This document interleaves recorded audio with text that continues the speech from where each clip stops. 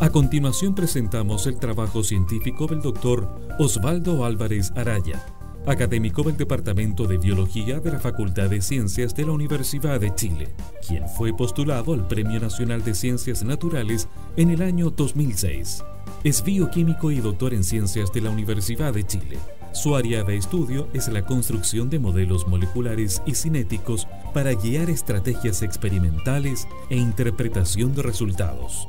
Mi línea de investigación es, son fenómenos de transporte, especialmente transporte de iones a través de las membranas, de membranas biológicas. La investigación que estoy en este momento es hacer modelos para entender el funcionamiento de un canal de iones que se llama TRPM8 que tiene la propiedad de ser sensible a la temperatura. Se activa cuando la temperatura baja. Este mismo canal es la base del funcionamiento de la analgesia por frío. Algunos tipos de dolores neurogénicos, por ejemplo, neuralgia, que se alivian con frío. Y eso es porque cuando este canal se activa, manda señales hacia otras partes del sistema nervioso que inhiben la vía del dolor. El doctor Álvarez reconoció que su interés por la ciencia surgió cuando estudiaba humanidades y recibió de regalo un microscopio de parte de su abuela.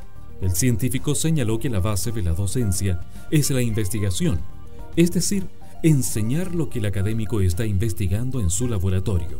A los jóvenes que quieren estudiar ciencias, tengo que decirles que van a tener un futuro muy, muy interesante, muy movido, van a viajar mucho, no van a ganar mucha plata, lo van a pasar muy bien y van a tener mucha libertad de hacer lo que quieran.